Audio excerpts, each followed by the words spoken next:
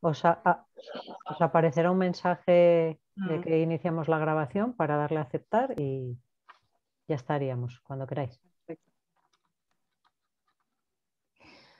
Bueno, pues en mi caso, eh, lo que me está pareciendo de trabajar en estas unidades de investigación-acción, en las, en la SARU, eh, y si me parece innovador, eh, pues para mí sí es un proyecto y un proceso que me resulta muy motivador y durante todo el proceso pues me ha resultado muy motivador ¿no? poder, poder aportar y poder escuchar.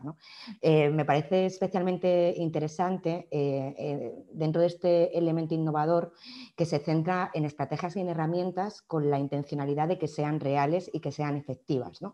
Y que aunque, aunque lo que ha ido o lo que ha intentado es partir de, un diagnóstico, ¿no?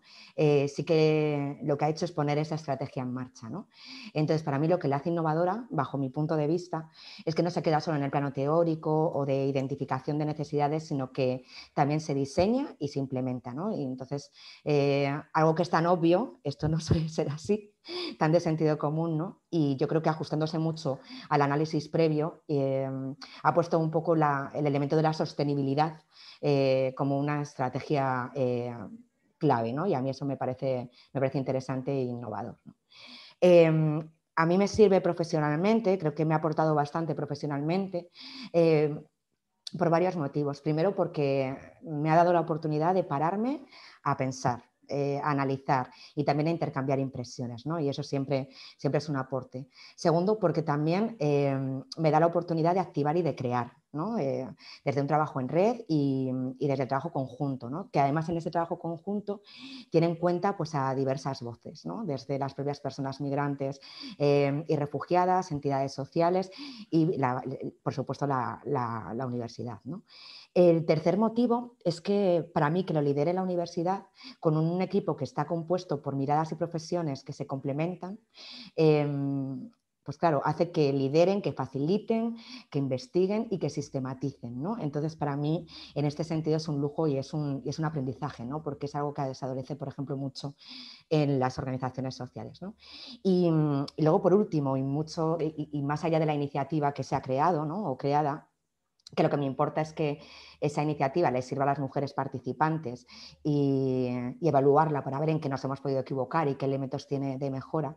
Lo que más me aporta a nivel profesional eh, es la oportunidad de adquirir claves metodológicas y eso para mí ha sido un aporte muy importante porque propone una manera de plantear iniciativas y estrategias de inclusión que tiene en cuenta una serie de elementos clave eh, a la hora de, planificarla y esto me parece que tiene, que tiene mucho aporte.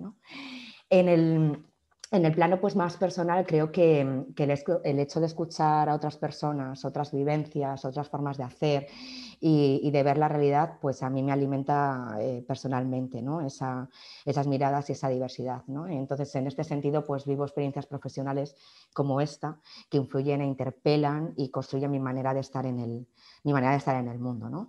Eh, además, que personalmente me interesa muchísimo el término o el concepto de vulnerabilidad y los contextos de vulnerabilidad. Así que en este sentido, pues me ha, no sé, me ha permitido nutrirme de planteamientos y visiones también eh, muy interesantes. Em, cuando hablamos del futuro observatorio, ¿no? de ese planteamiento de, observatorio, eh, a mí me parece interesante, eh, pero realmente me gustaría que, que sumara y que al final no replicara cosas que ya se hacen o que, o que sean muy similares y que ya existan. ¿no? Yo creo que ahí está, está el reto ¿no? De, de, no caer y creo que va a ser posible porque siempre ha estado ese elemento creativo e innovador ¿no? en este proyecto. ¿no?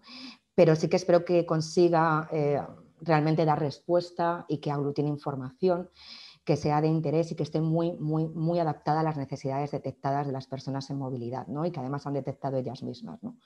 de las personas en movilidad, solicitantes de protección internacional y refugiadas. ¿no?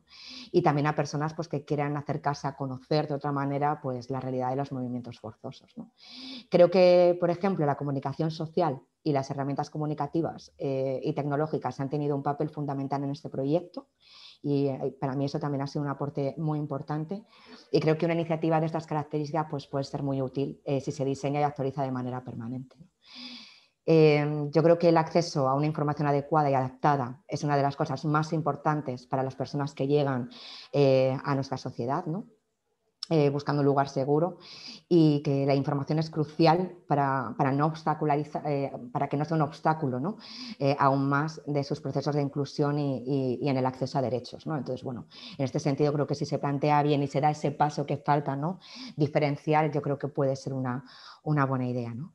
Y luego para mí, eh, dentro, lo, decía antes, ¿no? pero eh, creo que una riqueza muy importante ha sido que, en estos espacios de trabajo conjunto eh, se haya contado con algo que es evidente, pero que tampoco sucede, que es la participación de las propias personas pues desplazadas ¿no? o solicitantes de protección internacional o refugiadas. ¿no? Yo creo que partir de su análisis, eh, de su propia experiencia, ¿no? de su experiencia eh, en origen, eh, en trayecto, en llegada, en los procedimientos, en, en, las respuestas, en la acogida ¿no? que existen, son fundamentales para poder mejorar y rediseñar y establecer estrategias eh, que son muy reales. ¿no? Para mí, eh, estar trabajando eh, todas esas miradas que se complementan ¿no? y partir de la propia participación social, que yo creo es una de las cosas más complejas que hay en la intervención social en general y que en eso también adolecemos y que y que damos iniciativas transformadoras como esta,